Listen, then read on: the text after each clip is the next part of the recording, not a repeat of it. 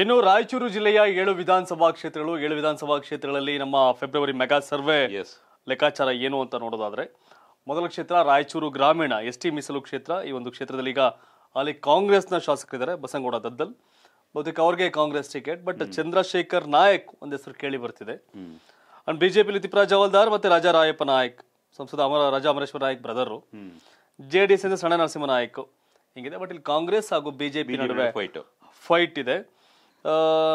ಇಲ್ಲಿ ಕಾಂಗ್ರೆಸ್ಗೆ ಇನ್ನೊಂದು ಚಂದ್ರಶೇಖರ್ ನಾಯಕ್ ಹೆಸರು ತೇಲಿ ಬರ್ತಾರೆ ಕೇಳಿ ಬರ್ತಾ ಇದೆ ಬಟ್ ಇದ್ಯಾವುದಕ್ಕೂ ತಲೆ ಕೆಡ್ಸ್ಕೊಂಡಿಲ್ಲ ಬಸವಣ್ಣ ದದ್ದಲ್ ನಾನು ಪಕ್ಷಕ್ಕೆ ನಿಷ್ಠನಾಗಿದ್ದೀನಿ. ಆಗಿದ್ದೀನಿ ಒಂದ್ಸರಿ ಗೆದ್ದಿದ್ದೀನಿ. ಮತ್ತೆ ಜನ ಗೆಲ್ಲಿಸ್ತಾರೆ ಅನ್ನೋ ಲೆಕ್ಕಾಚಾರದಲ್ಲಿ ಹೋಗ್ತಾ ಇದ್ದಾರೆ.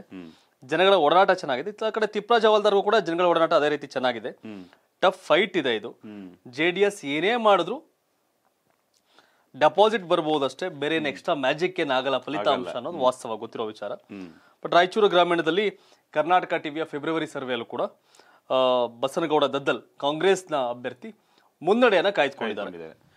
ಮನೆ ಮಂದಿಯೆಲ್ಲ ಪ್ರತಿದಿನ ಜಿನಿ ಮೊಳಕೆ ಕಟ್ಟಿದ ಕಾಳಿನ ಪೌಡರ್ ಆಹಾರ ಸೇವಿಸಿ ಡಬಲ್ ಎನರ್ಜಿ ಪಡೆಯಿರಿ. ಯಾಕಂದ್ರೆ ಮೊಳಕೆ ಕಟ್ಟಿದ ಕಾಳಿನ ಆಹಾರ ದೇಹಕ್ಕೆ ಹಂಡ್ರೆಡ್ ಪರ್ಸೆಂಟ್ ಪೋಷಕಾಂಶ ಒದಗಿಸುತ್ತೆ.